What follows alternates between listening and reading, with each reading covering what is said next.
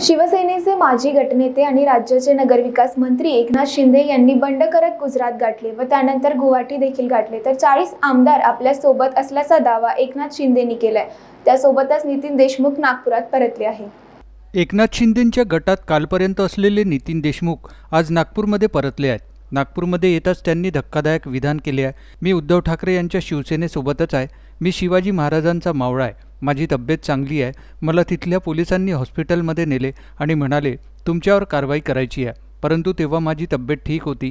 मला हृदयविकाराचा झटका आला. ही बातमी खोटी होती. वीस पंचवीस लोकांनी मला जबरदस्ती इंजेक्शन दिले. मला माहिती नव्हतं. माझ्या शरीरावर चुकीच्या प्रक्रिया करण्याचं त्या लोकांचं षडयंत्र होतं. असा धक्कादायक आरोप नितीन देशमुख यांनी केला आहे. तब्येतीविषयी सांगा माहिती काय तब्येत काल काय झालं होतं? आज हात हात रे हात घे ना. माझ्या महाराष्ट्रातला खाली करा ना थोडसे. महाराष्ट्रातला छत्रपती शिवाजी महाराजाचा मावळा अरे आहे खाली अरे खाली करा ना. खाली गुजरातचे पोलीस काही या मावळ्याच्या तब्येतीवर वार करू शकत नाही शरीरावर खाली करा बूम खाली करा यार चेहराच माझी नाही तब्येत टकाटक आहे आणि तुमच्यासोबत चांगल्या परिस्थितीमध्ये चांगल्या तब्येतमध्ये मी उभा आहे. काल काय झालं होतं नेमकं तिथे? काल त्या ठिकाणी मला तिथल्या पोलीस लोकांनी जबरदस्तीमध्ये येत. खाली करा. हॉस्पिटलला नेलं.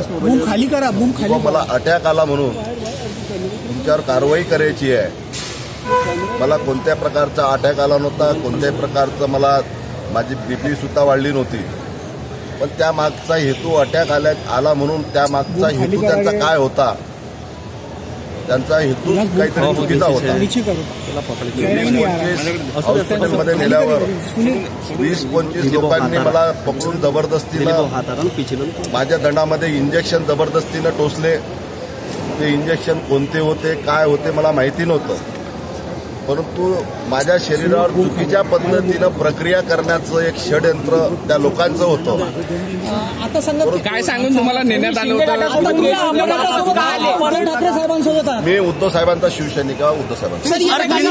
काय सांगून एकनाथ शिंदेने तुम्हाला काय सांगून नेलं होतं? क्या हुआ आपके साथ? क्या हुआ था उस दिन क्या हुआ आमचे मंत्री होते मंत्र्यांसोबत मी गेलो होतो पण मी उद्धव साहेबांचा हिंदी में हिंदी में नाही, तुम्ही बताइए परत सांगितलं तर परत कसे काय?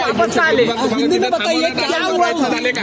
मी उद्धव साहेबांचा शिवसैनिक आहे हिंदी में हिंदी में आता तुम्ही कुठे जाणार आहे? इथून कुठे जाणार आहात तुम्ही? शिवसैनिक है मैं मेरे उस घर दिन को क्या जा हुआ रहा था आपके साथ क्या हुआ हूँ था मैं घर को जा रहा हूँ उस अभी दिन क्या हुआ क्या हुआ था आपके काय साथ झालं भाऊ त्या दिवशी काय सांगून तुम्हाला नेण्यात आलं हिंदी हिंदी में क्या क्या बोल के आपको लेके जाया जा पूरा रहा है इतिहास मैंने बताया है कि रात को तीन बजे मैं होटल से बारह बजे निकला हूँ। रास्ते पे तीन बजे खड़ा था लेकिन सौ दो सौ पुलिस मेरे पीछे थे। मैं कोई वाहन आया तो वाहन में मैं बैठना चाहता था लेकिन कोई वाहन में मेरे को बैठने नहीं देते थे।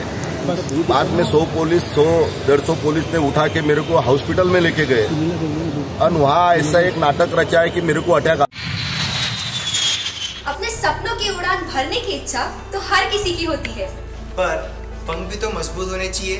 जो देता है Flywheel Aviation Academy Flywheel Aviation Academy एक ऐसा इंस्टीट्यूट है जहाँ पर एयरलाइंस एंड एयरपोर्ट हॉस्पिटैलिटी और टूरिज़्म मैनेजमेंट साथ ही यहाँ campus interview guidance by industry expert practical training at airport expert faculty personal grooming जैसे कई सारे बेनिफिट्स आप पा सकते हैं। Flywheel Aviation Academy one degree three job opportunities Flywheel Aviation Academy gives you a degree or diploma with a job. Flywheel Aviation Academy, 365 Gandhinagar, LAD College Square, beside Karnataka bank Nagpur